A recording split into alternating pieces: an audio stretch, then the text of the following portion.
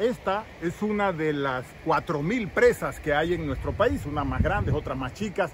Como ustedes recuerdan, las presas sirven para generar energía eléctrica o para acumular agua para el consumo humano o para acumular agua para eh, las actividades agropecuarias, inclusive eh, de agricultura.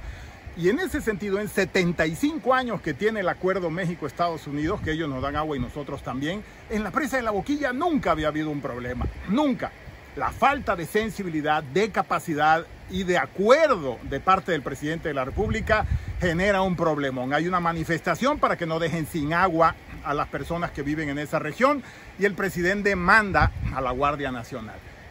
Eh, y se genera un problema. Tú no conoces a los norteños, presidente. Tú no conoces a las y los chihuahuenses. Ellos no están extorsionando como tú lo hacías a Pemex o al gobierno federal o al gobierno estatal para sacar dinero.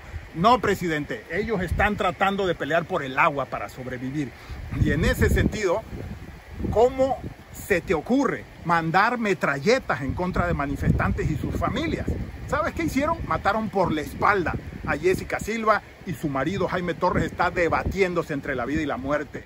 Una mujer de 36 años con tres hijos que hacía pasteles para ayudar en la economía familiar y ayudaba a su marido en la siembra de la alfalfa.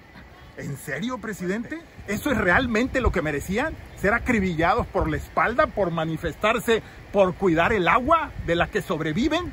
Y además, ¿para qué? Para cumplirle a Trump algo que ni siquiera te está pidiendo y que bien se podía pagar en los tiempos como tal cual los agricultores lo están diciendo.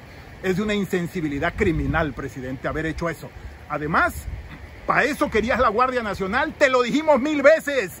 El ejército no puede ser la Guardia Nacional. ¿Por qué? Porque disparan a la primera. Los acribillaron. Y en ese sentido, ponte los pantalones y ve a Chihuahua y arregla el problema. Haz una mesa de negociación y termina con eso. El gobernador está de acuerdo, la alcaldesa de, la capital está de acuerdo, todos los partidos políticos, toda la sociedad, todos los productores están de acuerdo y queriendo terminar el problema. Aquí el único cobarde eres tú. Ve y termina el problema.